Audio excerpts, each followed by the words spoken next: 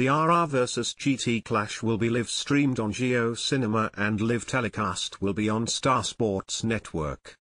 Sawai Singh Stadium in Jaipur is set to host an epic IPL 2024 showdown between Rajasthan Royals, RR, and Gujarat Titans, GT, on April 10.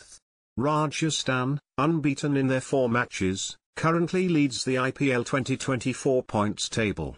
Conversely, GT has encountered three losses out of five matches, placing them at number 7. Let us take a look at RR vs GT predictions ahead of the encounter. Rajasthan Royals command the top spot in the IPL 2024 standings, having secured victories in all four of their games. With 8 points and an impressive net run rate of 1.120, RR recently clinched a 6-wicket win against Royal Challengers Bengaluru.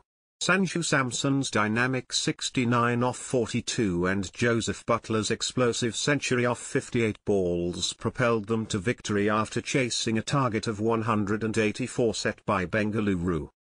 Gujarat Titans, on the other hand, initially won two out of their first three games but faced consecutive defeats thereafter. In their recent match against Lucknow Supergiants, GT succumbed to a 33-run loss despite Umesh Yadav and Darshan Nalkande's two-wicket hauls limiting the opponents to 163. Despite a promising start by Shubman Gill and Sai Sudharsan, GT suffered a significant collapse during the chase. Parimatch predictions heavily favour the home team, RR, with odds at 1.7.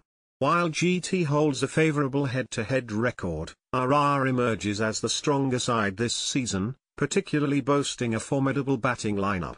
RR's batting firepower, including Buttler, Samson, and others, coupled with a strong bowling unit led by Trent Boult and Nandre Burger, adds to their advantage.